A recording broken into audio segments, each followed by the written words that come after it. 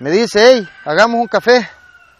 Quiero decirles que en esa época acostumbrábamos la pasta, acostumbrábamos el café listo como drogas, para que el cuerpo se mantuviera activo.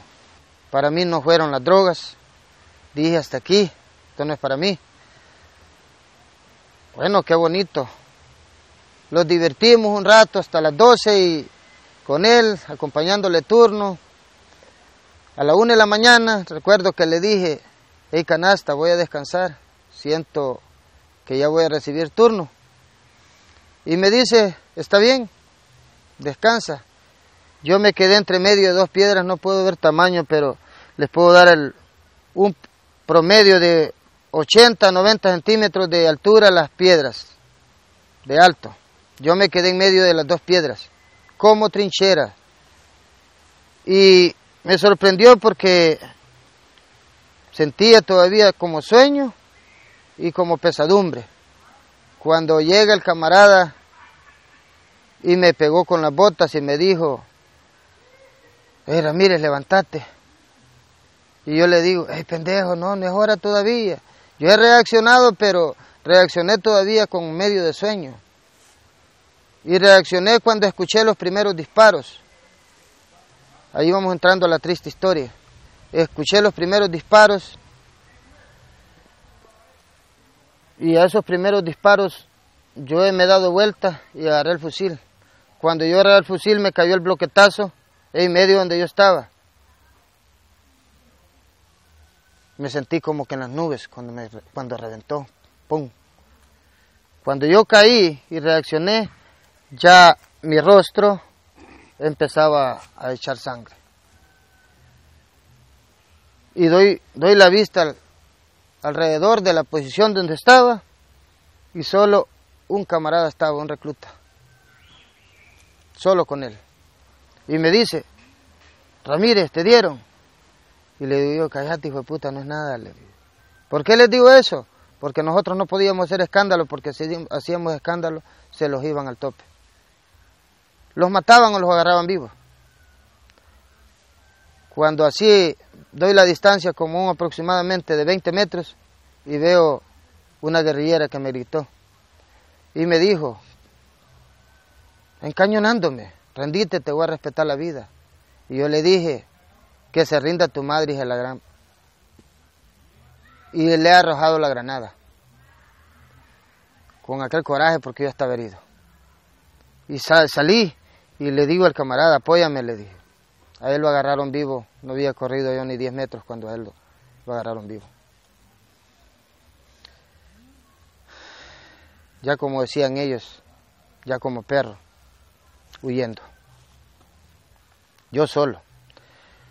Buscando apoyo de la, de la otra posición que teníamos en el puertón norte del Cerrón Grande.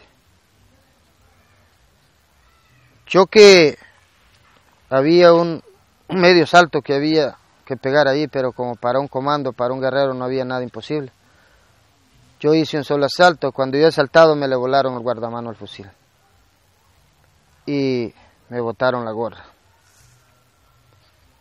Bueno, allí me quedé por, por unos 10 minutos, pero yo miraba que los, los guerrilleros cruzaban la calle como que eran gusanos. Y créanme que había momentos que no los, no los acordábamos de Dios, pero en ese momento sí, yo dije, Señor, en tus manos estoy y me encomiendo a ti. De ti depende si voy a salir vivo o voy a salir muerto.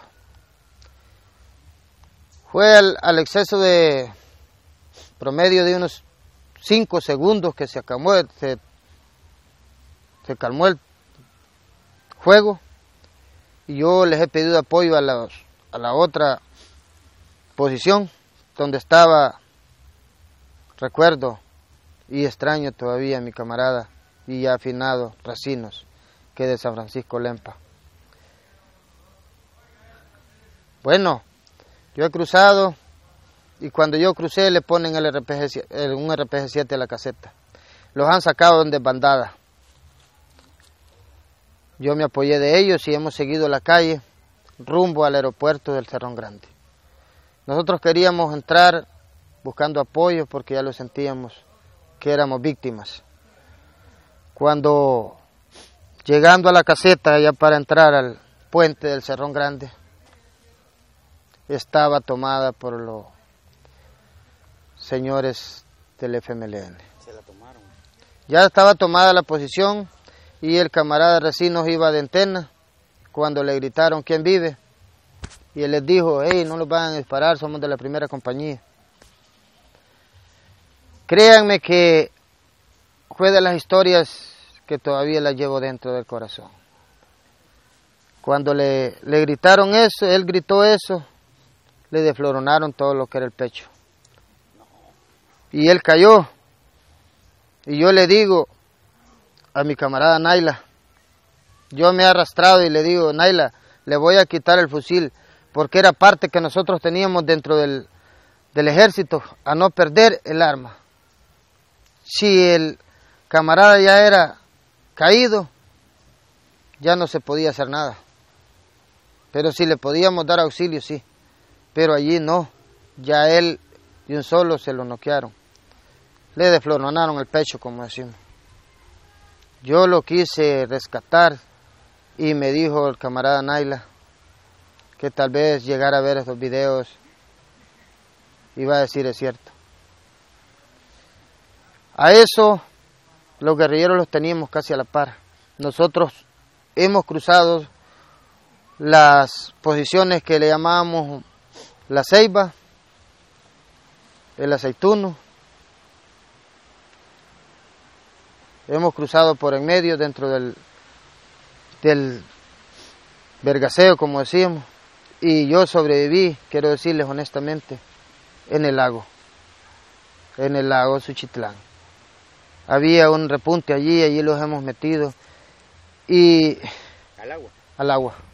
Recuerdo cuando mi, mi camarada Naila perdió las botas. Se metió y sin saber nadar, perdió sus botas en el agua. Le tocó que salir descalzo. Pero bueno, dentro de eso, como les repito, cuando la muerte la tiene a la par, uno no, no siente miedo de nada. Yo agarré la cerca que estaba allí y a mi propia palma de mano yo le he agarrado. Y yo, gracias a Dios, no me hice ni una herida en mis manos para que él pasara a sobrevivir al lago. Cuando salimos a eso de las 6 de la mañana, salimos por la misma parte donde entramos. Fue la, la tristeza donde ver que mi camarada recién no lo habían dejado sentado, recostado así en, el, en una piedra. El que le habían dado el... Sí, bien muertecito. Tenía otro camarada que era de Pacayas, difunto, ahí mismo lo mataron. Camarada Garrobo, ahí le dieron. No se olviden visitar mi nuevo canal. Solo escriban Conociendo Tocho El Salvador, en donde te mostraremos tu pueblo, tu municipio, en donde naciste, donde creciste, los ríos, los pueblos, las iglesias, costumbres, las fiestas y mucho más. Recuerda, solo escribe Conociendo Tocho El Salvador. Fueron de los ataques que, que fueron más duros para mí. Fueron tres ataques, pero el más duro fue ese. También cuando los les quitamos unos fusiles en, en el alto. Al igual, este fue duro porque peleamos toda una noche. Cuando también le dimos apoyo al batallón Sierpe, aquí en el Pedernal. Estoy hablando de la zona de los ranchos, Guarjila. Fue duro, pero de los ataques más duros fue ese. Y recuerdo también otros ataques que tuvimos en acá por el Picacho, las vueltas, cuando un camarada habló con el guerrillero a la cerquita, pues, y le dijo de qué pelotón sos, le dijo, del pelotón 30, le dijo. El, el guerrillero sabía que ese pelotón no andaba operando en esa zona. Cuando reaccionó rápido fue el rafagón, pero como íbamos las tres compañías, la primera, la segunda y la tercera, entrando en un eje de fila, fila de, de avance, no se escapó. Quiero decirles que se fue herido, pero ah, ahí abandonó su, su acá y dejó sus latas, su, perdón, su panita de, ¿recuerdan aquellos botes de orosí, de manteca? Ahí llevaba sus frijolitos y sus tortillitas. Ahí terminó. Ahí quedó. Entonces, esa es la, la triste historia que vivimos los veteranos y tal vez la, como me mencionó usted, la juventud, tal vez los niños cipotes de esta época, como decimos, la juventud, le cuesta aceptar lo que nosotros vivimos el pasado, pero quiero dejarles muy claro que eso no fue un juego, jóvenes. Eso fue una, una guerra de verdad, no fue un juego. Y si lo estamos contando, es porque Dios es grande y poderoso. Y si no, también tengo mis cicatrices acá. Tengo las señales en mi pierna. Y gracias a Él estoy vivo. Y seguimos contando. Son unas bonitas historias. Como le puedo decir, yo me siento orgulloso. Y les digo, después de 32 años casi, ¿verdad? De haber pasado la guerra. Me siento dichoso estar con vida. Las historias que quedan,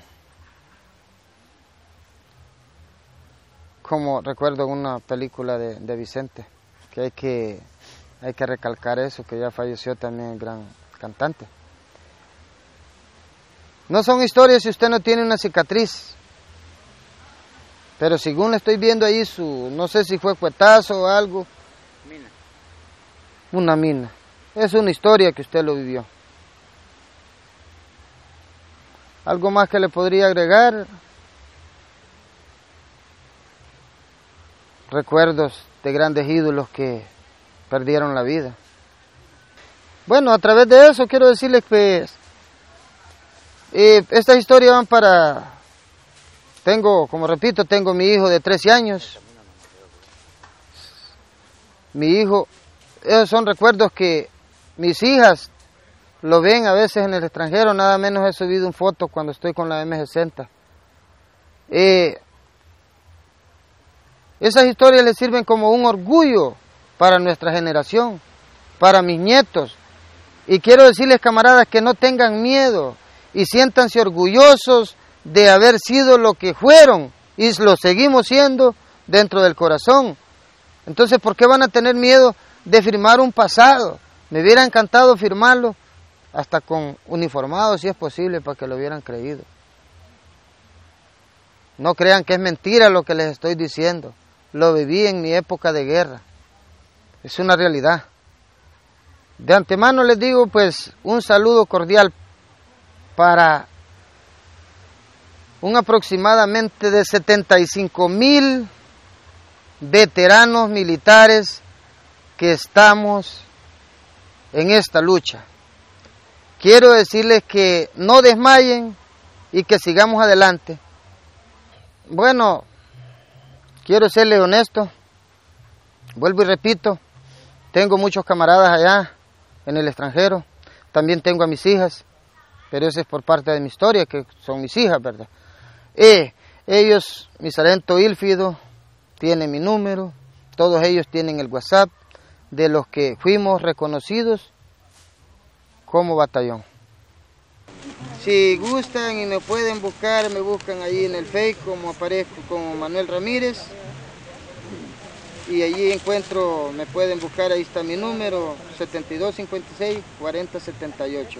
Y está a la disposición para si alguien quiere que le pueda contar algo de lo que he derratado acá, lo que he contado, se les puedo contar.